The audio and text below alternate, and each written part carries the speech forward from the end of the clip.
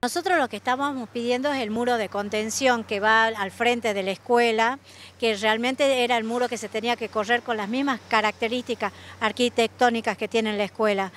En un momento nos dijeron que no se hacía. Yo cuando fui a hablar con el ingeniero de infraestructura escolar, eh, me dijo que sí se va a hacer esa obra.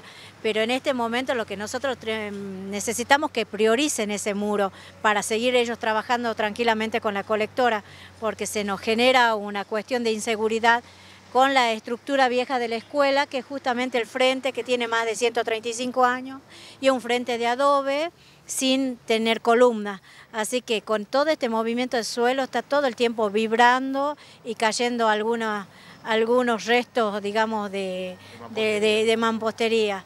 Así que bueno, eso es la preocupación más que nada de toda la comunidad educativa.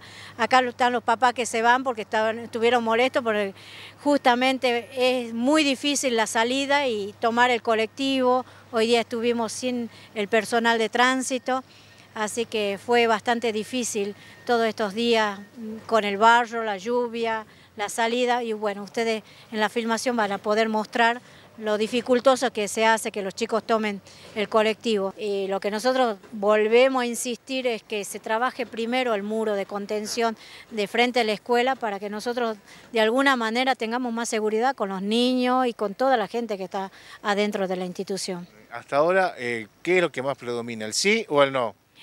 Y hasta ahora el no, porque como verán la obra avanza y nos dijeron que hacen el muro, pero no sabemos cuándo.